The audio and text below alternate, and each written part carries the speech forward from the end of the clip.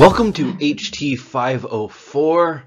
I'm thrilled to have you here and welcome to this beginning discussion that will introduce us to this wonderful journey we'll be on throughout this course. We're going to talk about Introduction to Theological Interpretation. And in this course, we're going to wrestle with the idea that God reveals himself. Yes, okay, we're agreed on that. If you're in this class, we're agreed on that. Other people in the world may not be agreed on that, but here you are. we're going we're going to we're going to say God does reveal himself. But what do we do with that? And this is where the challenge comes in a lot of uh, what we wrestle with in church work or in other ministry or in other places versus how we are trying to deepen our awareness and understanding of God's revelation. We begin with the idea that we do interpret this. God reveals himself. But we hear that through certain lenses. We read the text of Scripture through certain experiences and certain priorities. And so there is no sense that we can be purely objective and receive God's revelation in a pure, equal form as God reveals it. Because if we did that, we would be God, or would be equal to God.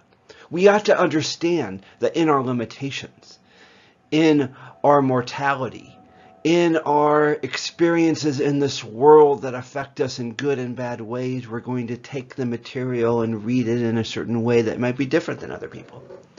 And sometimes we may be wrong, they may be wrong. Sometimes we may both be right, but looking at it through the different lenses.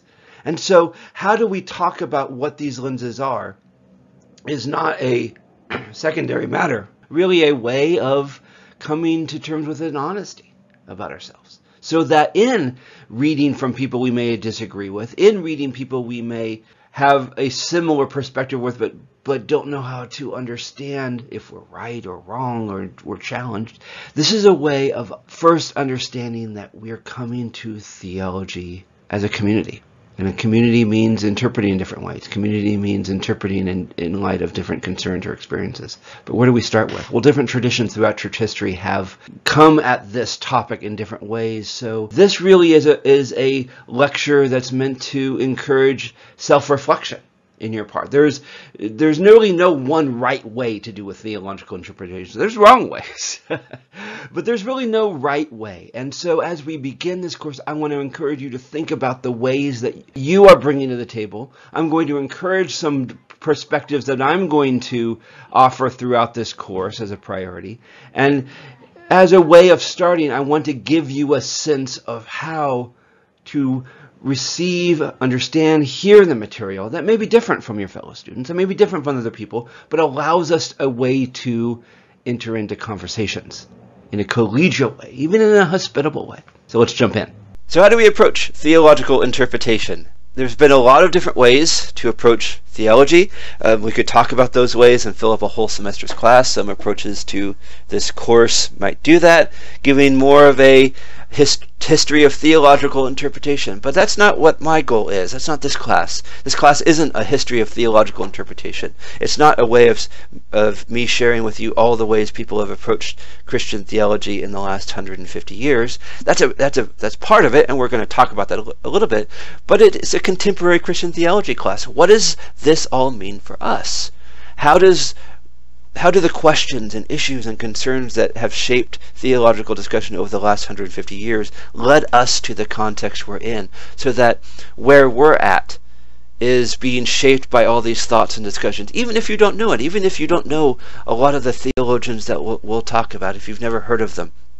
They've shaped the discussion. They've shaped the questions. They've responded to issues. And sometimes they've added more problems. Sometimes they've solved issues and questions. And so one reason the discussions move on is because people have wrestled with these in the past, which is likewise a reason to, to talk about them, not in as much depth as probably we should, but to introduce you. This class is going to be a lot of introductions to help you see uh, the way the conversations have been shaped, to help you see how things have been formed, and in in doing that, give you a sense of why we are the way we are? Why is theology the way it is? Why do we have the issues and questions that we have? Why do we have the hang-ups we have? So I'll begin the discussion with a few examples that help shape some of the main trajectories of theological interpretation over the centuries. This isn't going to be a thorough approach, and there are probably a lot of different other paths we can take. These are the these are some that have been interesting to me. Two that that shape more of a historical uh, approach, and one that I'm going to propose that I think is helpful for a contemporary era in light of, of those other earlier models. So Eastern Orthodox, which most of you are not familiar with, but has been provides a very helpful way of understanding theology in a holistic sense. The Wesleyan approach, the approach I'll feature in this class is one that I'm calling pneumatological triangulation. That's a good word. Fun thing about theology is you can come up with good phrases that sound really impressive. Um, so feel free to write that down. It's not as complicated as it sounds. Um, and I'll walk you through what this means. And it's something, uh, my, my hope is that you'll practice in your weekly assignments. So it's a fun phrase. Feel free to use it with your friends. Feel free to use it with your family. They'll, they'll, they'll think you're getting a lot out of your education. More simply put, because theology should be able to be put more simply, even if it all uh, isn't always put that way to be in the beginning, I will propose a method of theological discernment that examines a threefold work of the Spirit in us and in this world. And I suggest that this is a, a more contemporary way of dealing with theology in light of the complexity of the world around us. Get to know this one, because again, I want you to use it in your responses. So I'll give you a time. Repeat after me. Pneumatological triangulation. See, it's pneumatological triangulation. See, it sounds fun. It uh, let your let your lips wrap around that word. Uh, feel don't you don't you feel your your intelligence rising? There you go. Begin with the Eastern Orthodox approach. Vladimir Lossky, a 20th century Orthodox writer, summed up the approach of Eastern Orthodox thought, which is the, the church as it developed beginning around the year 1000 in the eastern part of the of the former Roman empires. What was North Africa in parts, uh, what is now Turkey, much of which has been taken over by Islam as the, as the chief religion, but we still see orthodoxy very strong in, in places such as Russia or Greece, Armenia. He comes from it in a different way than most Western theologians might. He argues Christianity is not a philosophical school for speculating about abstract concepts, but is essentially a communion with the living God. A lot of Western theology thinks Christianity is a philosophical school, or Christian theology is, uh, for speculating about ab- abstract concepts. But for the Eastern approach, it goes beyond the intellect. What does it mean to live with God? What does it mean to commune with God? That's involving our mind and our heart. What does it mean to commune with anyone? To truly live in communion with someone. Well, that's what theology is. That's what Christianity is. It's a communion with the living God that begins at the moment of our salvation and proceeds throughout eternity in an ever increasing way, in which God invites us into his presence and invites us to commune with him. For Lossky, theology is by its very nature mystical. Now, don't let the word mystical throw you off. Some it's it's been used and misused in a lot of ways, and a lot of the ways it's been misused have has been noted by other Christian uh, leaders or pastors or others as saying there there's no use for mysticism because they're approaching the word in, in a way that has been defined by other religions or other philosophies when Lossky uses the word mystical, we're not saying that it's somehow caught up in all these fal- uh, false philosophies, the kind that Paul mentions in, in, for instance, Colossians. But instead, theology is by its very nature caught up with things that go beyond our senses, that go beyond our ability to grasp, that, that involve a part of, part of us that involves our spirit, our soul, however you want to describe this inner reality and, and insight into things that are beyond our awareness. He contends that theology is rooted first in religious experience. We experience God. What is the experience of God like? What is salvation like? It's not purely an intellectual or social experience. There's something that is in us that brings us beyond our present reality. And that religious experience then leads us into the into theology, leads us into questions about God, leads us into ways of wrestling with what we have been experiencing. The goal of the Christian, then, is not so much to have a philosophical understanding of the divine, but rather to reach the point of union with God. We don't understand God, we enter into communion with God. Well, that's a nice different way of coming to terms with theology. What does theology mean? It's it's not a set of facts, but it's a way of growing in relationship. And when you grow in relationship, it involves learning, but it also involves your heart, and it also involves your responses. What does it mean to live fully and completely in an ever ever more full way in union with God. Now, we, can, we can we experience that in this life? Probably not. We're broken. We're sinful. But God is calling us, and the Spirit is filling us to begin this process. Again, the modern era emphasized a binary on and off, yes or no, in communion or not in communion. Well, the contemporary approach it allows us to think in terms of this more easily. We can't get to complete union, but we can have more union. We can't have complete communion and be completely perfect, but we can improve, we can grow, we can enter into a stronger relationship as God works in us and through us. So, for this to occur in an Eastern Orthodox approach, the Christian must learn how to become completely detached from human understanding. Our minds lead us away. We, when we try to grasp something purely with our intellect, it, it brings in distortions. It misleads us. It, it, it brings misunderstandings about God that tend to reflect more our hang-ups or our goals or our problems. So true theology in an Eastern Orthodox conception is relational. Again, knowing God is being in communion with God. It's not having a set of facts that we can put a check mark next to. It's a way we live. Are we in relationship with God? That's not, however, to say nothing can be said about God. While we can't know who God is, we can know what God does. We can experience God in His revelation. This is what Scripture tells us. It's not a set of facts, it's a story, it's a narrative. It's telling us what God has done. And in confronting us that, with that story, how God has worked in the course of history, we learn how God continues to work in our lives and beyond our lives and in this world, past, present, and future. We experience God and we can integrate these experiences with our words about Him. If you are a theologian, you will pray truly. And if you pray truly, you are a theologian. That's something a Christian leader in the early centuries of the church named Evagrius of Pontus said. And it really emphasizes this idea that theology is really about communion with the living God. And that you can have a lot of facts and you can have a lot of ideas and you can have a lot of complicated sentences and uh, complex words with many syllables and say a lot about God, but you don't really know God, and you may not be talking about the God who is. If you are truly a theologian, it's not just words about God, it's a way of relating to God, it's a way of relating with God, it's words to God. You will pray truly. What is what does theology mean? It means being able to talk about the God who is and reflecting this in the all of life. And if you do this, then you know God.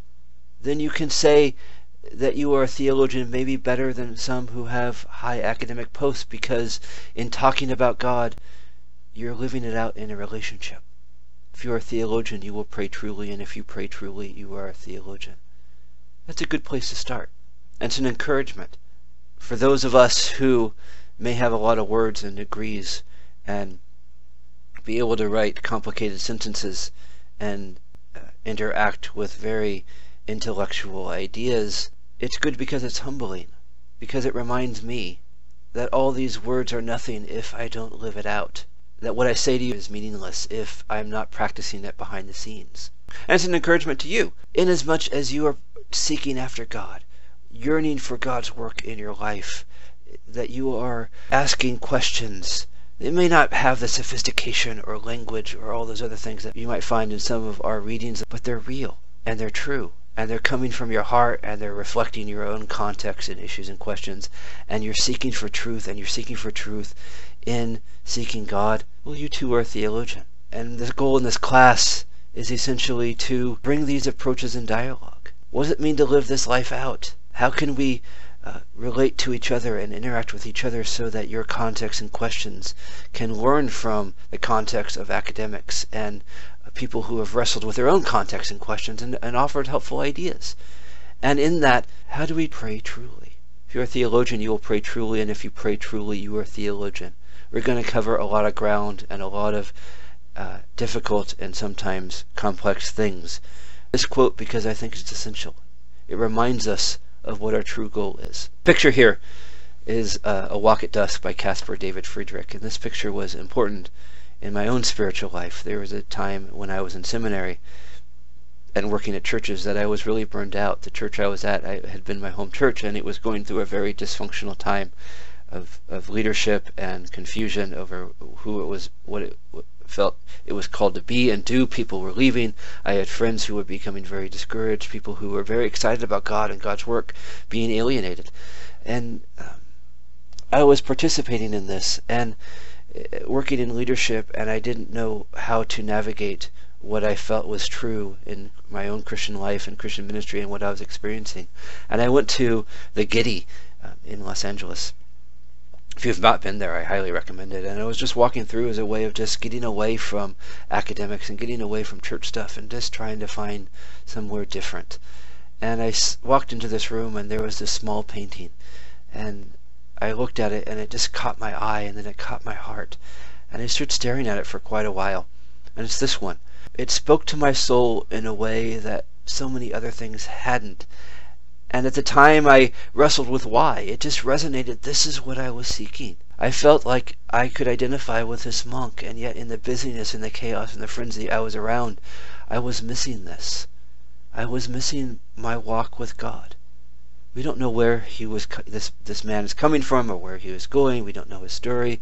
We just see him in this space, this walk with God, on his way from somewhere to somewhere, caught up in maybe prayer or thoughts. That's what theology has inspired me towards, getting away from the frenzy and chaos and finding this way of walking with God again. Walking with God in stillness, in quiet, so that when we're called to live out this Christian life in the rest of this world, we're in places of chaos and frenzy, we can bring this contemplation with us. We can be voices of stillness, of encouragement, of renewal, of peace, peace, hope, patience. Find an image. What image works with you?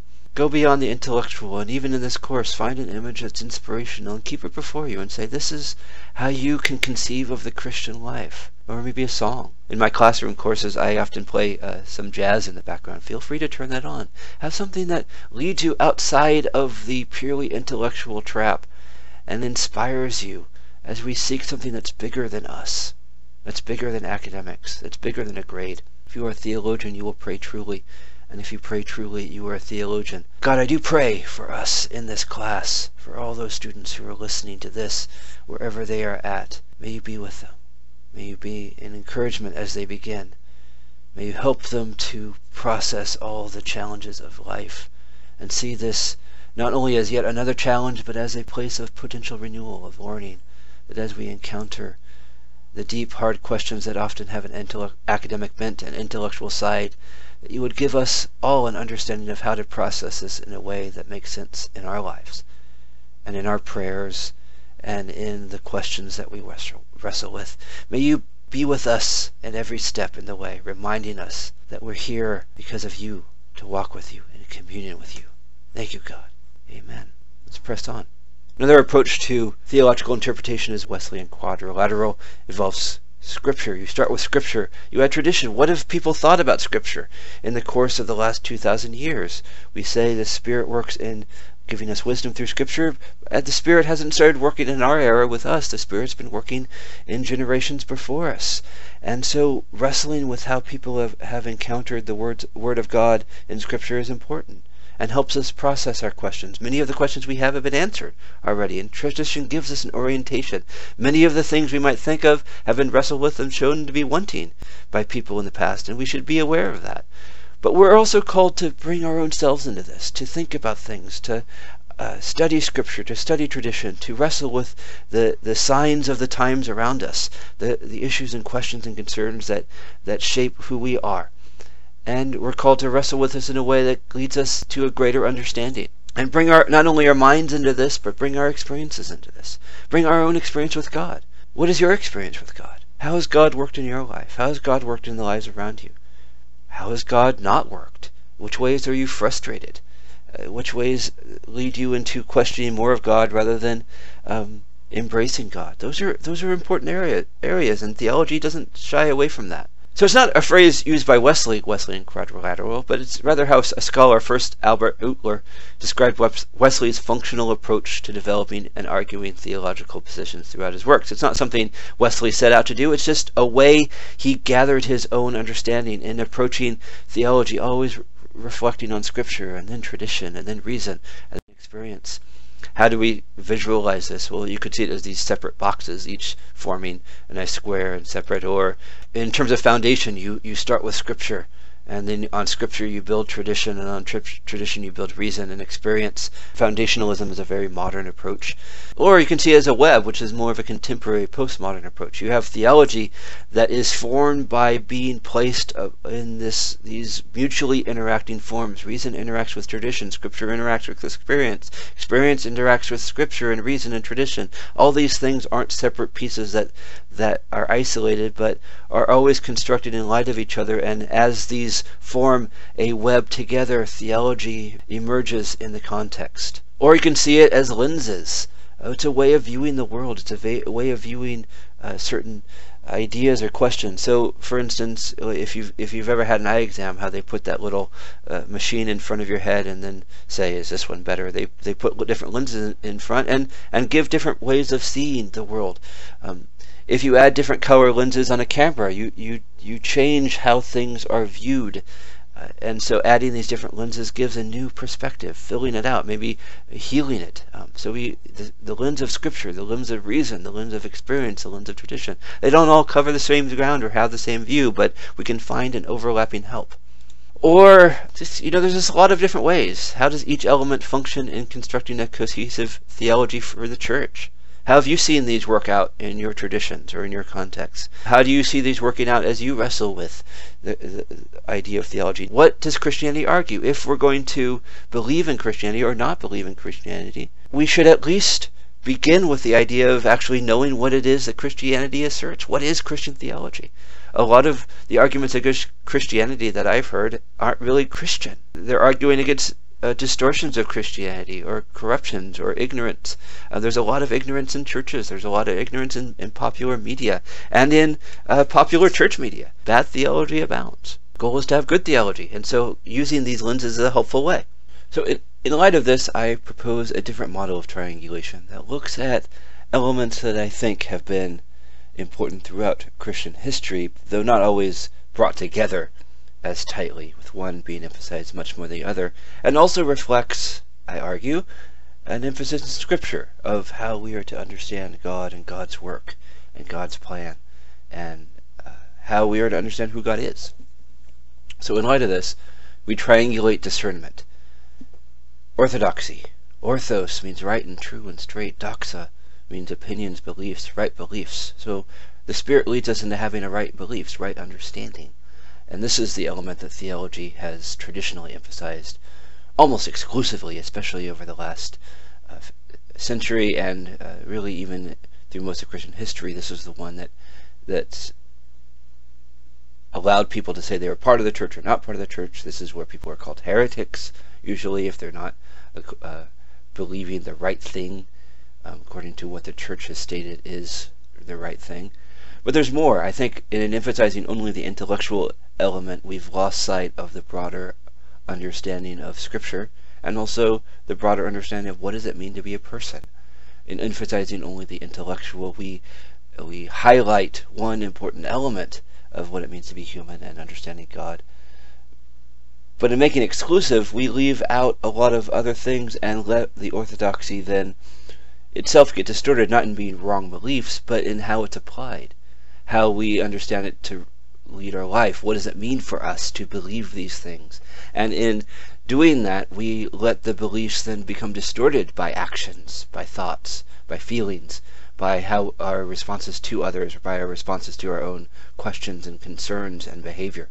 So, to add to orthodoxy, I propose that we add two other elements. One, orthopathy, pathos, which is the Greek word for emotions, passion, suffering And in this, I would argue it means right feelings. We're called to have right feelings about something. We're called, our emotional selves are a big part. To say that uh, we can take our emotions away is uh, arrogant in some ways, especially as, as some people are more driven by their emotional insight and discernment than their intellectual. And also, even for those who pride themselves on strong intellectual development, they're still emotional. There's still emotional responses. Everything throughout history, all human interactions are led and driven in a big part by our emotional state, our psychological state, how we respond to, how we're being treated, how we how we respond to situations, how others are being treated, and understanding our emotional context and how God works in our emotional context is a huge element. And with this then too, we have what do we do with it? Orthopraxy, right actions. Right actions are a way of expressing our beliefs, putting our beliefs into action is is making our beliefs real. Do we really believe something if our our actions don't reflect this? So our actions reflect our beliefs, our beliefs lead into our actions, and only in understanding all three of these together, I argue, can we have a truly coherent understanding of God's work in this world, in our life, in a way that's coherent and has integrity with those around us. Here's a, a image. This is where the triangulation image came from in, in my mind. Uh, it's cell phones. How do, uh, if you have a cell phone, they can find you, uh, which is I guess is a little scary if you don't want to be found. But uh, most of us don't worry about that, and if we're lost, it's helpful. How do they do that? How how does triangulation work with cell phone technology or with uh, other forms of technology throughout the ages? Um, it's a way of tracking something by saying if you have three different points, then where they intersect is the line of truth. This is this is where this is where the the person can be found or the location can be found. So the first tower judges the distance to the caller, who could be anywhere on the circle. The, the second tower does the same. So uh, then you have two distances, and in tracking those and in aligning those two, you have a, you have a beginning of a fixed point. Then the third tower pinpoints the location. By having these three points, they balance each other out. They they give added information that fills in gaps of the other. If you only have orthodoxy, for instance, you can tell where someone is on a narrow range of what it means to be Christian, our intellect, our thoughts, what do we believe about Jesus, what do we believe about God. But as you read in the Gospels, Jesus is concerned much more than that. How do we respond to others? How are we responding to moral questions, ethical questions? Who are we in our private lives? All three of those elements are part of what it means to be Christian. So I begin with orthodoxy. This comes from John 14, 22 through 26. I encourage you to look it up, honestly, and spend time with this. Don't, whenever I use scripture, don't feel like you have to entirely believe everything I'm saying. I am using these as cues. Uh, the nice thing about an online course is it allows you to stop and pause and think and consider. So John 14, 22 through 26. Lord, how is it that you will reveal yourself to us and not to the world? Jesus answered him, Those who love me will keep my word, and my Father will love them. And we will come to them and make our home with them. Whoever does not love me does not keep my words. And the word that you hear is not mine, but is from the Father, who sent me. I have said these things to you while I am still with you, but the Advocate, the Holy Spirit, whom the Father will send in my name, will teach you everything, and remind you of all that I have said to you. So what will the Holy Spirit teach us? Everything. What the Holy Spirit remind us of? All that Jesus has said to, uh, to you. That's a lot. So we say, one of the core missions of the Spirit is to give knowledge and understanding about God. Again, this isn't as uh, a theological point separated from Scripture. This is Scripture. This is Jesus himself saying this. We know we can have right understanding about God what God wants of us because the Spirit gives us this knowledge. We can pray, and the Spirit will work in us and through us and give us this knowledge. Maybe through others, maybe through friends, maybe through uh, uh, colleagues or pastors or whoever.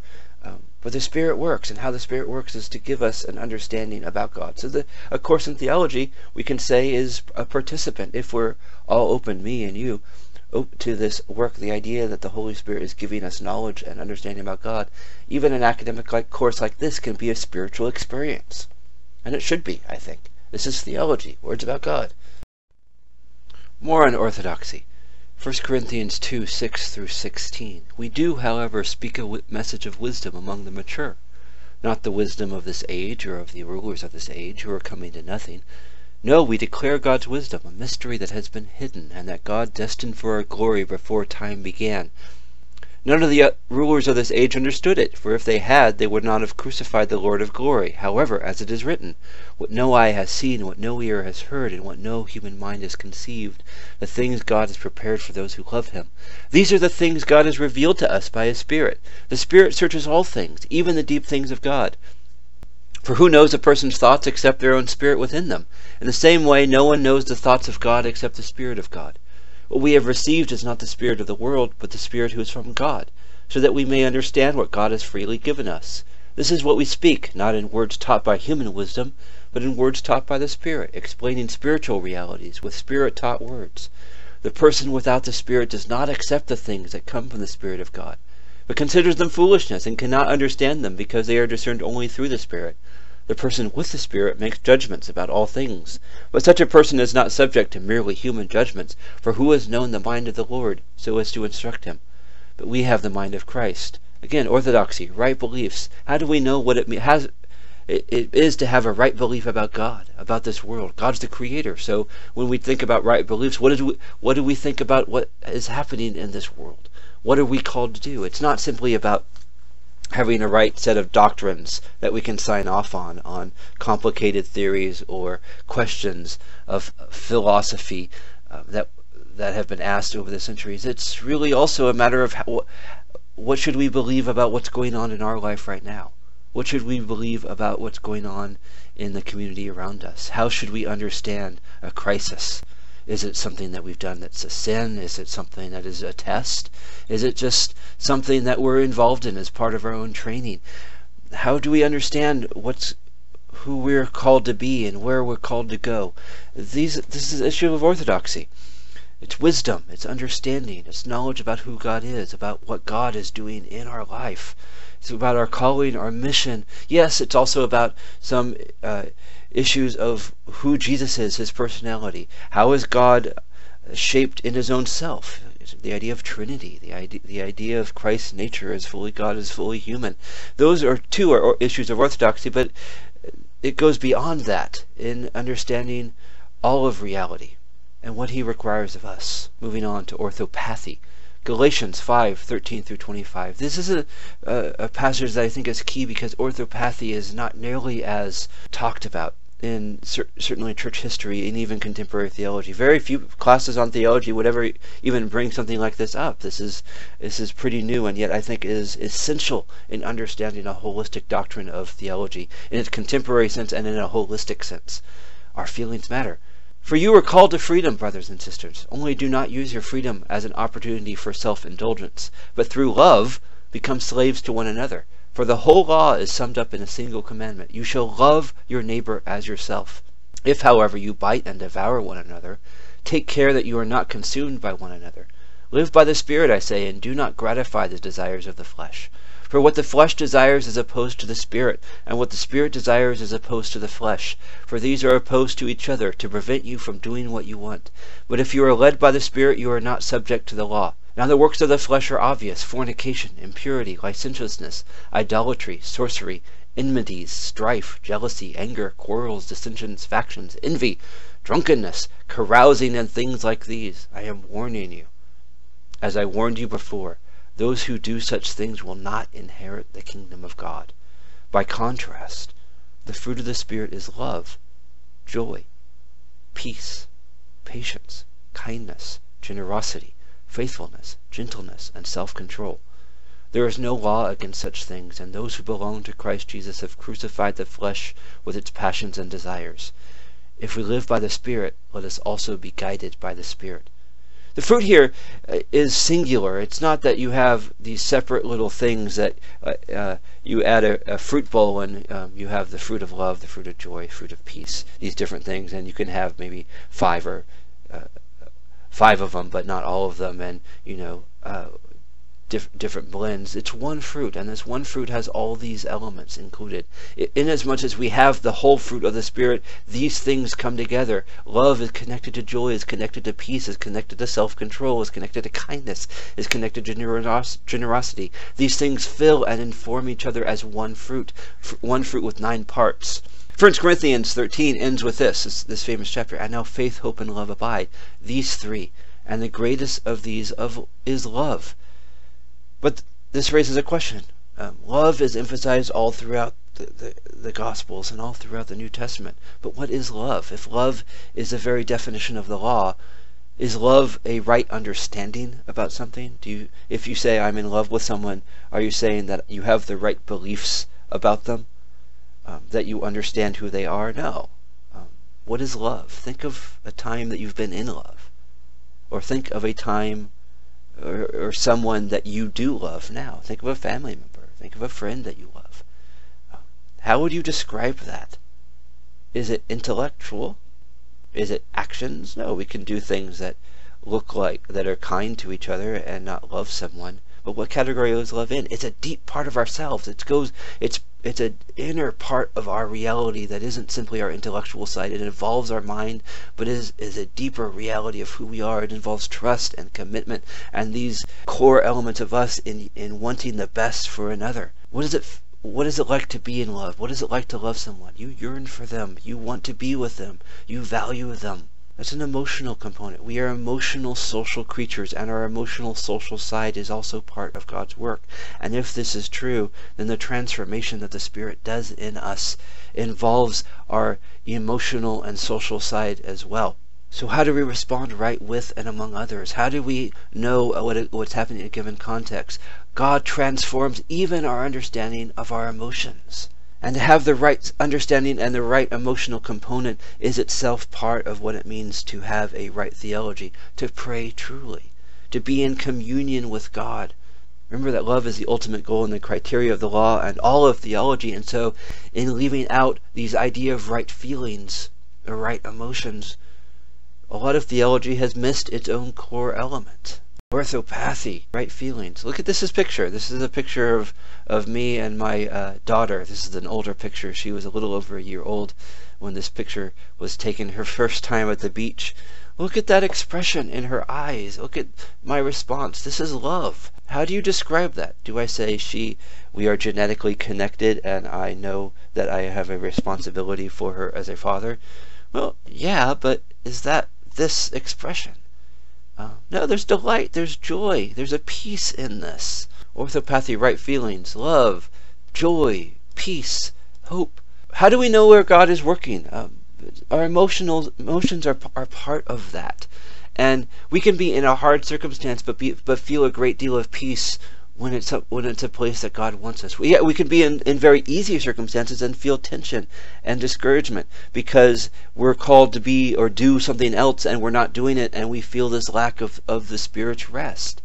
The modern era was very distrustful of feelings and, and assumed that the intellect was the only guide, which is alienating towards people who really are driven by uh, their emotional side and have, have a strong sense of feelings and empathy. Be, because emotions are a part of human perception, both good and bad, and may and I think are part of God's work in and with us. Now, of course, like with thought and, and, intellect, our emotions aren't always trustworthy, and so orthopathy is a way of leading us into not only having and experiencing the right emotions, but knowing how to discern what is an experience of peace that is a peace of God's versus an experience of peace that is just us being comfortable. What is joy that is deep and full of God's presence versus joy that is just we're being amused by something. And a good issue, an important issue to talk about, for instance, here is depression. Is being depressed a sign of God's absence? Of course not. Um, I myself have struggled with depression over my life, and I know that there are times in which I just feel this darkness and emptiness, and it's not that God is absent in my life, it's my my uh, neurochemistry is off, or I didn't drink enough water, or I haven't been exercising, or there's a genetic component there with that. Depression isn't a sign of God's lack. It's just like with so much of other, our wrestling with our physical selves, sometimes we're caught up in our physical weaknesses.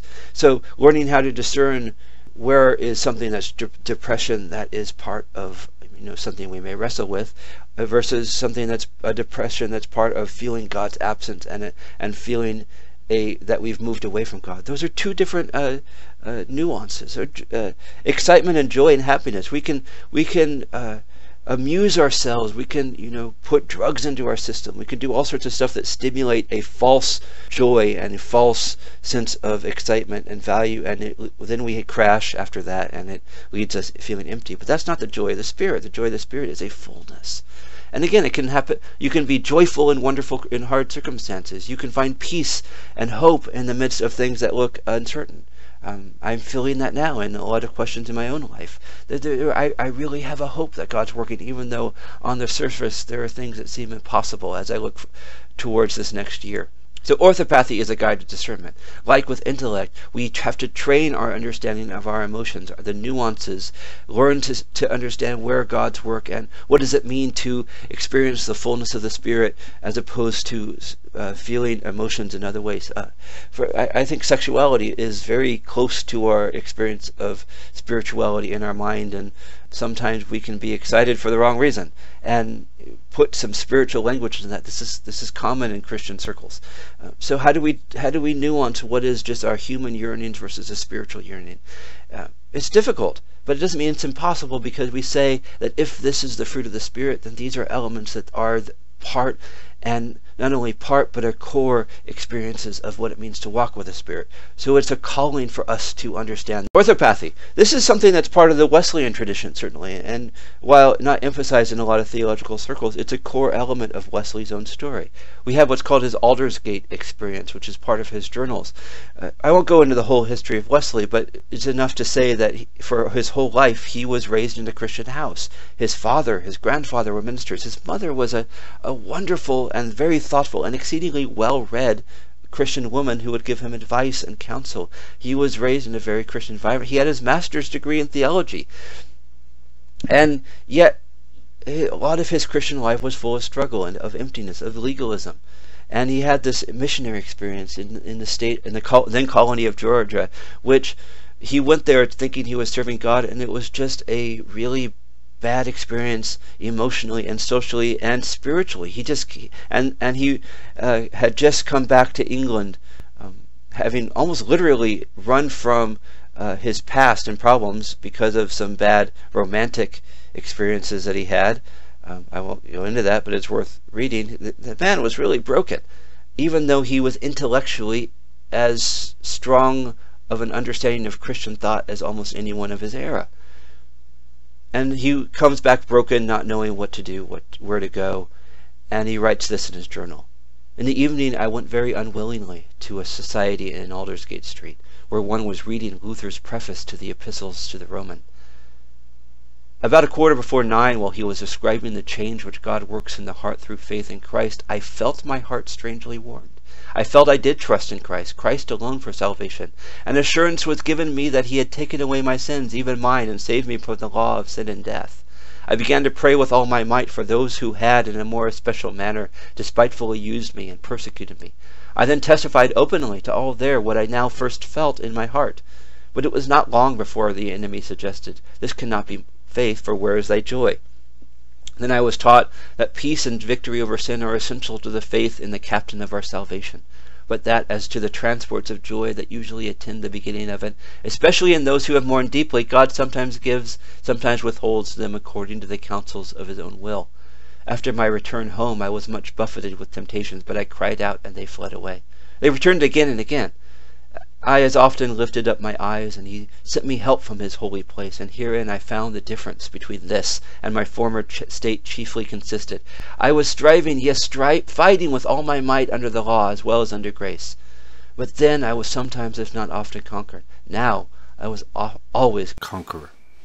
So Wesley had this experience of the Spirit in which he felt, and in this feeling, this is often called his conversion even though it's strange because he was a Christian his whole life, it was a renewal, it was a transformation. In the feeling, it became real. So orthopathy was, was the moment really his ministry began. That moment was seen as, as the point that his ministry uh, went from being a lot of words and legalism to taking off to being the kind of movement that spread around the world. And yet, the work of the Spirit is never intended to simply be about giving us right th- an understanding and right feeling so that we can sit quietly on our own. No, all throughout the Bible, the Spirit works always for a specific reason, for a mission. The Spirit is this mission of God enacted in the life of people in the church and in this world. And in pressing forward this mission, we experience the understanding of God and who God is and how God works and what God wants of us. We feel the joy, the peace, how to live with and among each other, how to navigate difficult circumstances with a different attitude an emotional state than those around us. We learn how to walk in peace during times of, of trouble rather than chaos. We learn to face questions and issues and concerns so as to press forward with courage. What's the difference between David in facing Goliath and the rest of Israel? It wasn't that he was a great, the best warrior, it's that he was the one who had courage. He was the one who said, This person is not going to stand. God worked in his emotional state. But like with David and like what we see with Wesley, it wasn't ever limited to just having a right uh, idea or or emotions or feelings. It was always enacted. We are given the right feelings and emotions and understanding so as we uh, so as to press forward in a way that's different than those around us, to put it into practice to put this mission into practice, to live it out, to respond to others, people differently, to have a sympathy for people, not so that we can simply feel for them, but that we can come alongside them and assist them in, in their discouragement, so that we can see the poor, so that we can see the hurt, so that we can help each other grow in understanding and wisdom and and and other ways eh, so that we become eh, better Christians so that we can lead others to understanding who Christ is. So we call this orthopraxy, and we begin this discussion with talking about the gifts of the Spirit. Uh, I'm not going to read these uh, these sections in full, but again, the benefit of of having this recorded is you can pause this. So I encourage you, open up Romans 12 and read Romans 12, and pause as you read this. Next, read 1 Corinthians 12. Look to see what, how they're similar, how they're different. Look to see what does it mean to, what are the gifts of the Spirit in this passage. Ephesians 4, 2 through 16. Open your Bible and read this. Think about it. Pray about it. 1 Peter 4, 7 through 11. So orthopraxy. Praxis means right actions. And so having orthopraxy is doing the right thing in the context that we're in. Uh, spiritual gifts can certainly be part of that. We say we've been given gifts to edify the body, to participate in the church. There's no sense of passivity in the body of Christ. Some churches are organized and structured so that you have a few people doing everything and the most of the people sitting back and receiving, but that's not the nature of the Spirit in, any Christian community, everyone has a role. Everyone who's been given the Spirit has a part and of and contribution. This may happen on a Sunday morning, or it may happen in the context of the community throughout the week. But everyone who has been given the Spirit has a role and part as part of the very Spirit's action. And everyone who is a Christian has been given the Spirit. So we all have a role. We all have a part.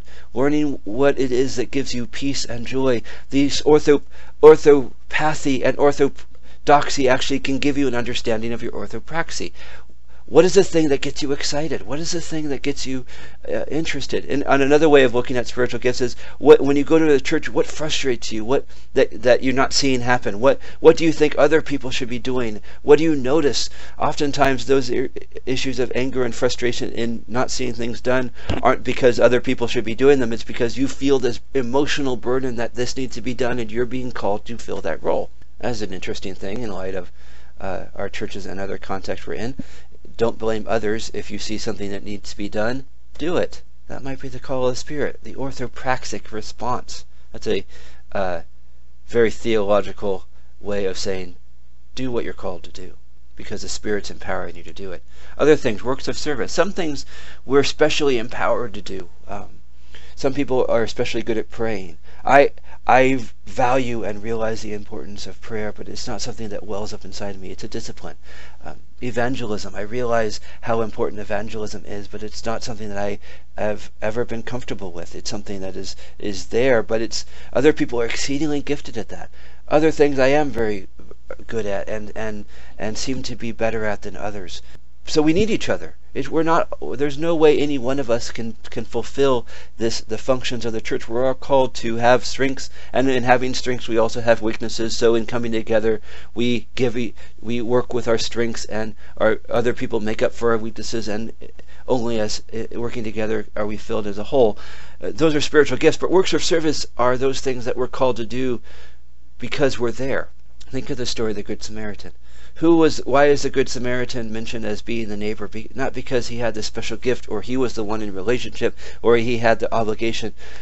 He was walking by on the road and saw someone hurt, and he was the guy who helped. That's a work of service. When we're in a setting, it could be our family, it could be in an apartment, it, in our apartment, it could be in a big dramatic setting on a mission field, it could be in a walking by someone who is hurt and needs a, a listening ear works of service are being the presence of Christ in the way that Christ would be if Christ himself was there. And through us, through this power of the Spirit in us, we become this messianic presence and are called to be participants with Christ in those settings, being representatives of Christ. We also talk about orthopraxy in terms of holiness, uh, which isn't legalism. It's not being set apart. It's about becoming more whole, more becoming who God has truly made us to be. So personal transformation, ethics, morals, these are all included, but it's bigger than that. Who are we truly called to be? How do we overcome our weaknesses, our temptations, our, our the ways we're broken? Well, we, we say that we are broken. We say that sin is a deep part of ourselves, but we're not left there. We're never, we, we say that we're sinners in need of forgiveness, but when we find salvation, we don't say Jesus just saves us and then moves on to the next person. In providing the Spirit, we start from a place where Jesus loves us and accepts us as we are. The Spirit works to take us from where we were to who we're called to be, to make us whole, to to heal us in the ways we need healing. Again, Jesus accepts us, but Jesus is is always calling us to be more of who he intends us to be, to take up our calling, to overcome the damaged areas, and it's the Spirit who allows us to do this. We're called to build up the church, edification. We're called to help those in need. So orthopraxy, the right actions are transformative. Where the Spirit works in us, we're called to be agents of change in that setting. Again, this doesn't have to be a big dramatic way. If everyone really lived this out, everyone has a small influence in their immediate circle, and if everyone is doing this presence of Christ in their immediate circle, then this has a resonating effect in broader and deeper ways, and soon the whole of society is changed, not because we start from the top up, but because we start from the bottom. From, from in the midst of things, you have this resonating change. And it's practical. When we talk about orthopraxy, we're not talking about these big religious or spiritual dramatic acts. Maybe sometimes we are, but oftentimes, if what what is the practical act if someone's hungry? Give them food. What was Jesus' response to the people who were um, dealing with illness or disease? He healed them. Orthopraxy is an expression of good news, not in a religious or philosophical uh, sense that only affects our mind and understanding. It's good news in actually addressing what do we need to hear good news about in our lives? What what are those around us? Think think in terms of the setting you're that you're at. Think in terms of the context you're at, our city, our community, the apartment building, the the neighborhood, wherever you are or, or whatever you're doing, your work. What is the good news for that setting in which you can be a presence of Christ and bring in in how you respond to things, in helping people in need, you can bring this presence of Christ so that people experience Christ even before they hear the words of Christ. Does that sound familiar? That's good New Testament stuff right there. It's always expressed in action. If we know God, we act in a way that expresses this. It's not work salvation. It's because we are saved, we live out this salvation in certain ways. Uh, John Wesley said something because God's works we can work. Because God works, we must work. It's the Spirit's present in us who allows us to be a new kind of person. It's the Spirit's present in us that compels us to live this out in practical ways throughout every context of our life. Aristotle proposed three essential elements of persuasion that I think overlap some of what we're talking about, which is, is in a way, me trying to connect this uh, pneumatological triangulation with a common understanding of wisdom, and maybe in this arguing that that this approach really fits a broader perspective of human wisdom that isn't new, but really speaks into uh, the human condition that has been understood throughout history. He talks about ethos, pathos, and logos. Ethos, think ethics, is about our character. Are we believable? Are we trustworthy? Are we qualified to speak or be seen as authoritative? Well, this can be reflected in our credentials, such credentials like, for instance, I, I, could say, I have a PhD in theology, so you must believe me when I talk about God. They're not really trustworthy, especially nowadays when we're suspicious about people who have authority or have credentials. Do we always believe people? Do you, are you just automatically going to believe everything I say? Maybe.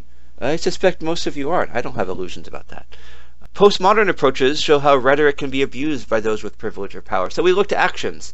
So I think ethos relates most closely in an ancient and contemporary sense to orthopraxy. Are we living out what we say we believe?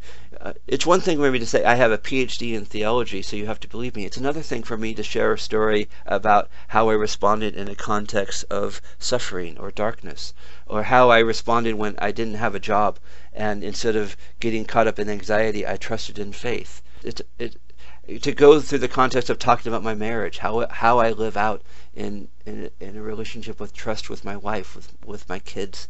Those are ways in which you say, okay, he takes this seriously, and, and because he takes this seriously, maybe this is something I should take seriously. Do our actions represent faith? And if not faith in God, what do our actions represent faith in?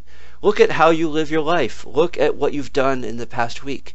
Uh, that's a better way of actually expressing what you actually believe in. Actions speak louder than words. We're bombarded with advertising. What do we truly trust and believe in? Those people who actually prove it by acting it out.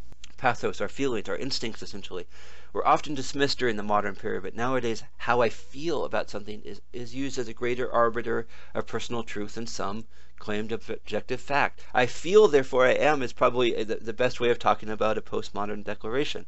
It could be hope and joy, deep emotions. I feel this is true about me. I feel this is who I am. Uh, or negative emotions like anger or frustration. What we feel, what, what someone feels about something is their truth. Likewise, fleeting or fear and despair, deep negatives. Now, eh, maybe this is taking feelings too far in a certain way. This is why we need the other two elements, but this shows how the pathos is really taking a, a central way. Where is our hope, however? What is our fear? If these are not being oriented by the Spirit, then they're being oriented by something else. And we need to understand what these are being oriented by so that we can take our pathos, our passions and feelings, and develop them in a way that is according to the Spirit. Let ourselves be transformed by the Spirit, even our emotions, so that our hope is our hope in Christ. Our fear isn't a fear and, and anxiety about the world is doing to us. Our fear is a fear of the Lord. Next, logos, our words, representing an argument in logical form. This defined the modern approach to theology and still really is what most people think about when we talk about theology. Theologos, right? I think, therefore I am, Descartes said. Very rational, very orderly. It's often intellectualized and sometimes distant from regular human experiences, which is often di uh, dismissed, and maybe I have done a little bit of that myself so far. And yet, this is a key element. Thinking through something is a very human trait. Our ability to rationally consider something, step back from a context and assess it is key. Uh, think in terms of relationships. We can get, get so caught up in emotions and responding to each other that we, we butt heads, but if you actually step back and understand where someone else is coming from and think through what is it that's driving my response. It may not be the thing they did. It may be something that happened earlier in the day that I'm taking out on them. Your, our ability to rationally consider these things is what separates us from the animals in so many ways who are driven by their immediate experiences and emotions. The question of understanding and persuasion and theological interpretations isn't just a philosophical one, and it's not simply just a social one. There really is also a historical element to it because history is a different culture, as one historian once said, and different historical eras are dealing with different kinds of questions and different kinds of concerns and different kinds of life experiences. And so all knowledge, whether it's theology or farming or go down the list of issues that people have to deal with in order to navigate life are based on the kinds of experiences and understanding of their part of the world. And so I, am going to roughly break down three different overarching eras of human knowledge that reflect very different kinds of understanding about the world. And these different kinds of understandings have sh radically shaped how people were asking questions about God and asking questions about human life. Now, uh, I say these are different eras, but the reality is that these aren't so easily divided into this happened, then it stopped, and then this happened, then it stopped, and then the next one happened, and then it stopped. There is overlapping elements. And different parts of the world could actually still be in different kinds of experiences of this. But this is a general way to understand how theological discussions, especially over the last 2,000 years, both contribute to our knowledge, but also leave themselves open to either critique or simply in insufficiency, because the kinds of questions and concerns people were asking 1,500 years ago were very relevant and helpful, but they're different than what we're dealing with now. And our understanding about the world and our understanding about science may lead us into different kinds of questions, or our own weaknesses are different than what they had. Our strengths are different than they had. We're going to begin by looking at pre-modernity.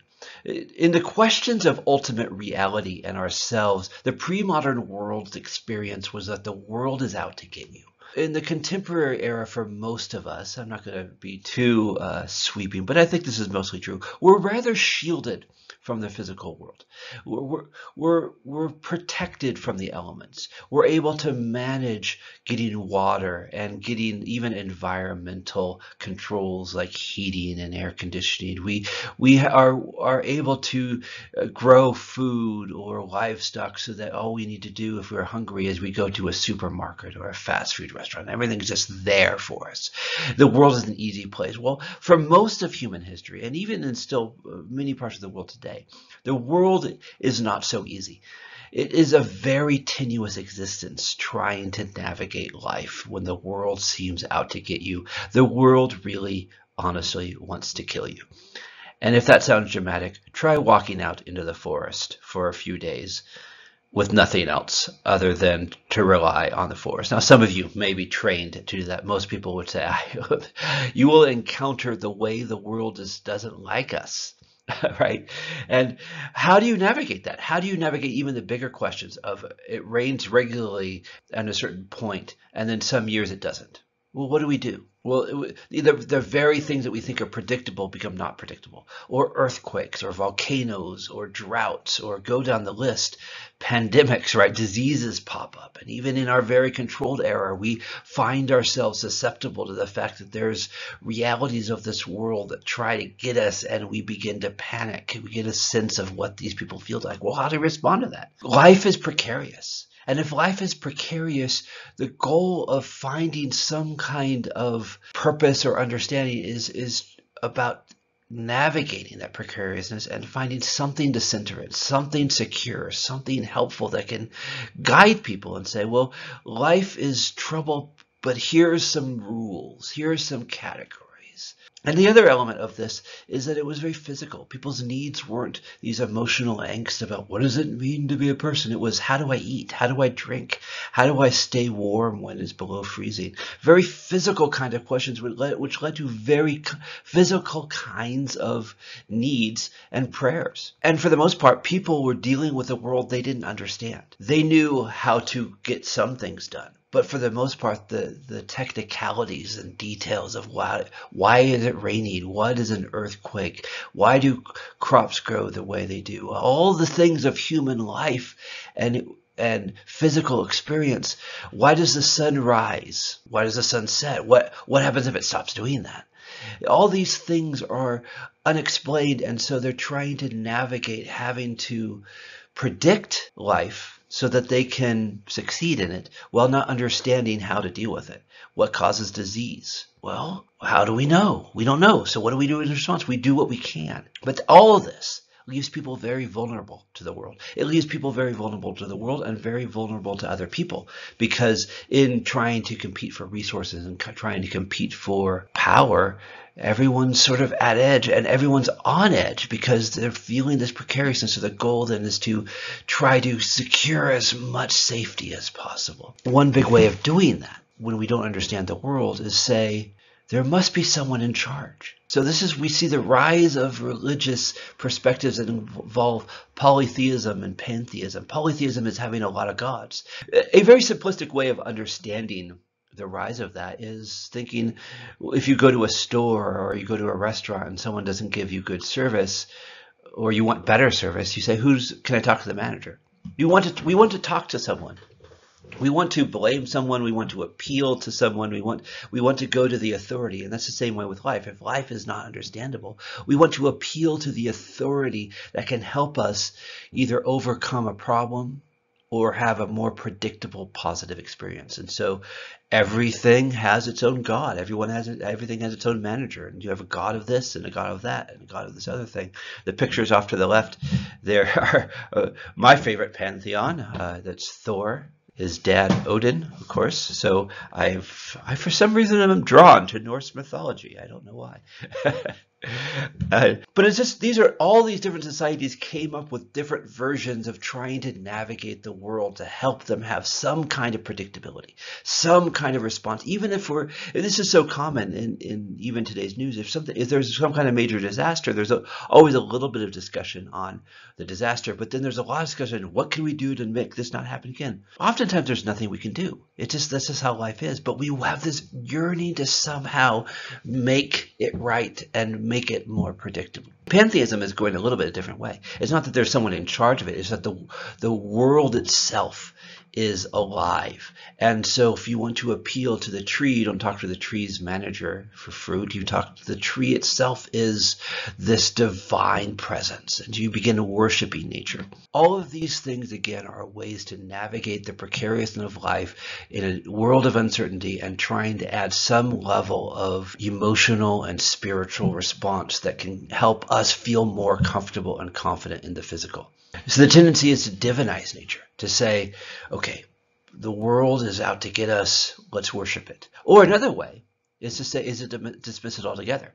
And this was another common approach in a lot of philosophies in ancient times, which is to say the physical stuff isn't our real person. Our physical stuff is just the shell. Our real self is the spiritual, the soul, this internal thing. We can and we can continue to see uh, other world religions that have share, continue this basic perspective. It's this dismissiveness of this physical stuff because it's untrustworthy, it's not dependable. So let's get rid of it. The pre-modern questions really wrestle with: Do we divinize nature? Do we dismiss this? Who do we talk to? Who's in charge? How do we navigate the precariousness of life? It really was a a reality of dealing with fear. Fear of nature gave way to fear of God, so that God's presence in this world gave hope to being sheltered from nature's domination. The idea that God is creator wasn't a debate about when it happened or uh, the, the pattern. It was who's in charge. God, Yahweh, I am, is in charge of all things. If you have a problem, who do you go to? Who can we trust? God. God is in charge of all of it. And we can have God's promise that we are going to continue. Well, how can we trust God? Well, theology develops these patterns of understanding how God can be involved in nature, but not dependent on nature. Let's move into modernity.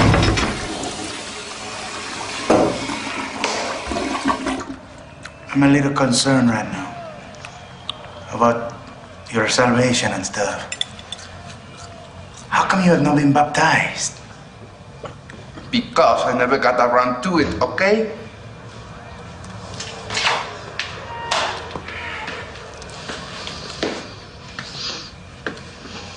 I don't know why you always have to be judging me.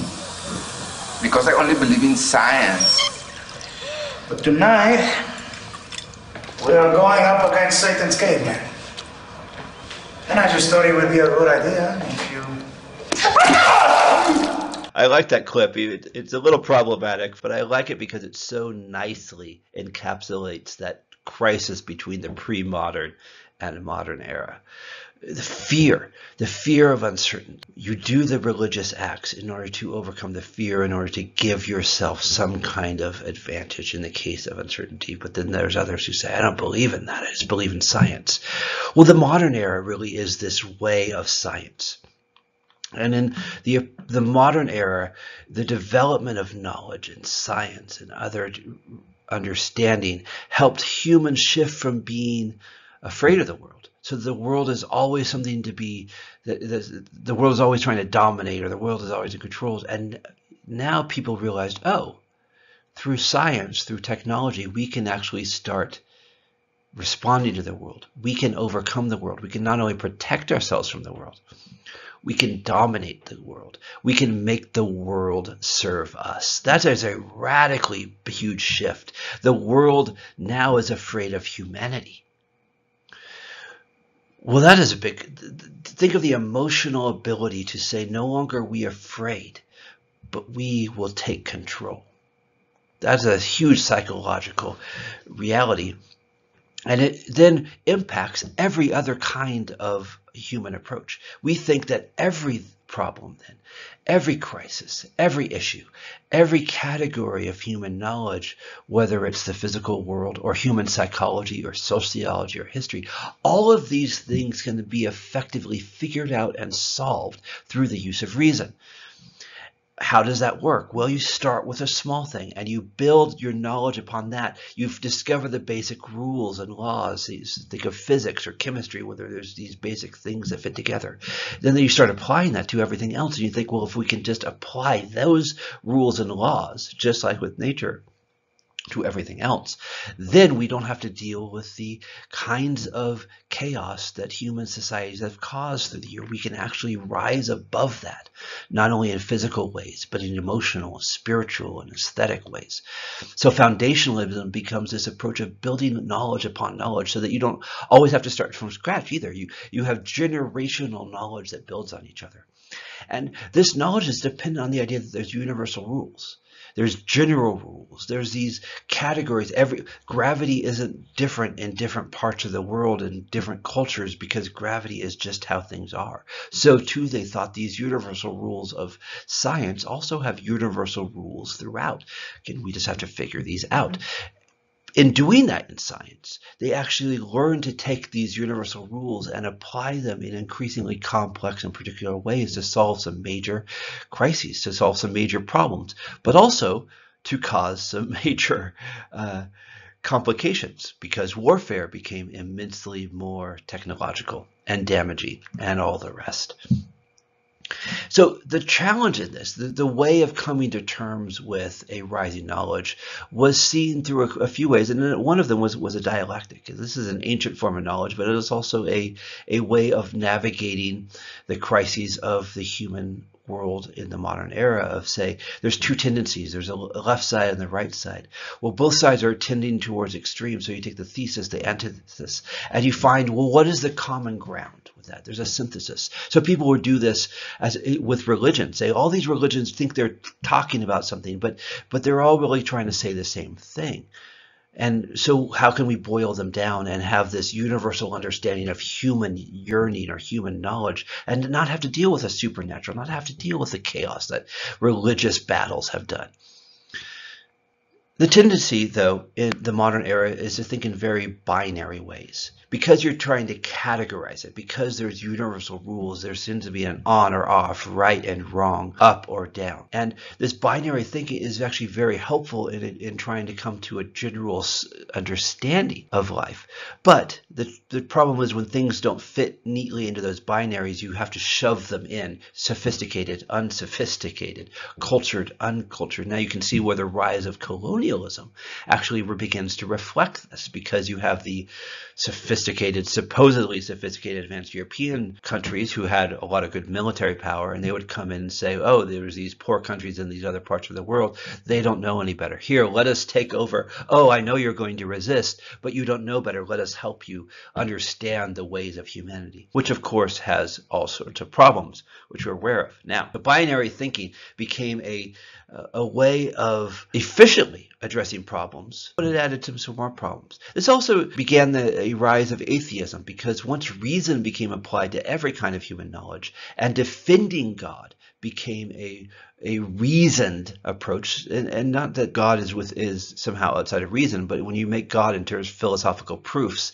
and define God's nature within these proofs, then the God's own identity then becomes dependent seemingly on these proofs. And if good arguments are made in the contrary, well, then why do we need God? And that's what happens. So no longer life isn't precarious, so we don't need God's physical help. So God becomes a philosophical option. And when you have a philosophical option, you could reason him out. Life is good, right?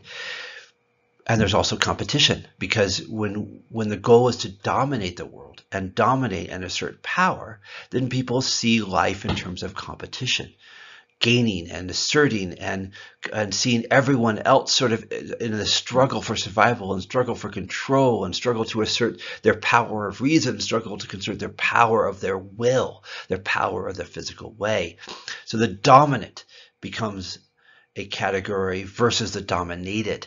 You, see, you see this binary. You're in these one or the other kind of categories. You want to be part of the dominant, and you want to show your dominant by dominating. Again, this is exactly how then the modern era treats the world itself. This isn't just human societies. This is how the world is impacted. You do, you are either dominated by the world and succumb to its pressures or you take control. You take control of the resources, you take control of the science so that you make the world bend to what you want it to do. Nature, then, became something to be subdued and conquered. In modernity, humanity learned how to oppress nature. Technology and science gave insights into the ways of this world, and with this insight came a new stance toward the world, one of domination rather than intimidation. Now, before I go on, let me say that this is certainly not all negative. There is significant amounts of progress. The very fact I am talking on this video to you wherever you are at is a expression of the kind of development that happened in the modern era. There is great possibilities, great resources, great ways of helping people rise out of poverty. The, the kinds of science that addressed farming techniques or new kinds of seeds or go down or medical advances. All these things are good, but they're not altogether 100% divinely good. They are they show the way that progress and advancement can also reflect in damaging ways. And these damaging ways became so apparent in the in the 20th century, especially in World War One, and then sort of the, the nail in the coffin of the modern era of, of in after World War II, when people realized all this understanding was leading us to a place of continued barbarianism and in the late 20th century the realization we could actually entirely annihilate the world. And there were people who seemed willing to do that. That's a problem. So we move into what's called postmodern era. The question of re ultimate reality in ourselves continues, but rather than say we're afraid of the world, as the pre-modern era did, so let's dominate the world, as as the modern era did. The postmodern says, how can we get along with world, the world? How can we cooperate with the world? We're not afraid of it, but we also see that we can cause so much damage that we destroy ourselves. We need to work in communion with creation. We need to be attentive to our responsibility to the world and be attentive to how the world has a kind of wisdom and that God made in creation so that we are, functioning so that we are healing and helping rather than controlling, dominating, and destroying. Simple answers aren't enough. They address the world, but they don't address our experiences. That's the problem with trying to make these general rules apply to history or society. Humanity is so much more complex than that and trying to mandate certain general approaches to very broad swaths of things ends up causing more chaos. You know, history is a great example. You couldn't just boil things down. And one culture is not necessarily more advanced than, than another. There's strengths and weaknesses in every culture. And when, when one tries to say, we're the only culture with, that, that matters, everyone follow us, then those strengths may be applied, but the weaknesses then magnify, and and those who are being subdued or dominated feel the weight and burden of that, and then it causes chaos in so many other ways. And so what we're realizing is the genuine strength uh, that comes out of the variety and complexity of the world and the complexity of human society and the diversity of human society aren't problems to be overcome, but they're benefits to explore and deepen and listen to. And as part of that, one of the earliest postmodern critiques was that you cannot rely on what are called meta narratives. This idea that there's this overarching story that then applies to everyone and everyone's shoved into this. No, that becomes a tool for power because if I'm saying, here's your story, here's you who you are, that's me controlling you and me not actually being attentive to what God is doing in you or doing among you or the strengths you offer. So rather than say there's a meta narrative, it's there's a multiplicity of narratives. And we we try to then uh, fight and push against the kinds of power structures that that try to constrict the complexity for their own power. But then, of course, that leads to the question: Is there truth? And versions of postmodernity, versions of of this that especially got a lot of attention because I think they're they're very dramatic and sweeping. Ask the question: Is there truth? And and which leads into the questions of relativism, the idea there is no truth, there there's no common thread, which is of course a, a very enticing kind of understanding when we're fighting against the power structures, but it also itself is limited because it's it, it's it's creating a new kind of meta narrative that's saying that there is no common thread. But breaking down the meta narratives and the, in the deconstruction that happened was important, but we can't stop there because if we stop there, then we're these disconnected existences that have no common narrative or story or area of unity, which is problematic in general, but is especially problematic in light of Christian theology. There is relative perspectives, but th- not everything is relative. There is a God is creator idea that causes a common theme. And that brings us back to understanding well, okay, there's complexity and there's relative positions. But is there a way of organizing this knowledge so that it's not just let's meaningless or empty or whatever everyone's truth is their own truth? Can we actually build on it? Which is of course how we function in, in life. The, the anglo-american approach to postmodernity I, I, think was a lot more uh, attentive to the idea of complexity and, and probably because of the history, right? You have the European history of World War II and other places that, that causes like we don't trust power at all. We don't trust power structures because they're inherently uh, problematic. Whereas the, some approaches say, well, you can have a problematic portion, but there's still an element of truth and knowledge that can come through. And so in seeing uh, knowledge not as foundation you build on this. And in general terms see it as a web. There's interconnected forms of knowledge that can be adjusted but there's still a form that creates a structure and there's a complexity of that knowledge that, that actually embraces variety. Think in terms of e- uh, ecology. Uh, I currently live now in a mountain area where there's trees and birds and plants and other area and other things. And all these things over the eons have developed so that they interact so that the, these are the kinds of birds and trees and plants that function at about a mile high in altitude and in Southern California uh, and all the rest. And so there, this complexity is very interactive. And one of the things we learned from the modern area is if you, you, you destroy one part, you actually undermine the complexity. And in undermining the complexity, everything is affected.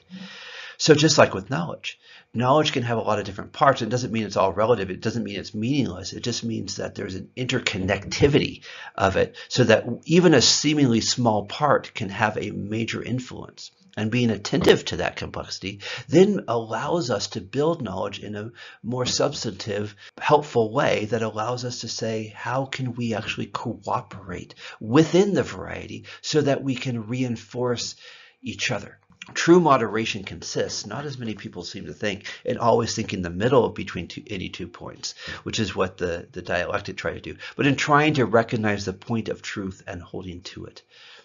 What is the key element of human life that theology is teaching us to bring this back to a question of theology? What is the revelation of God?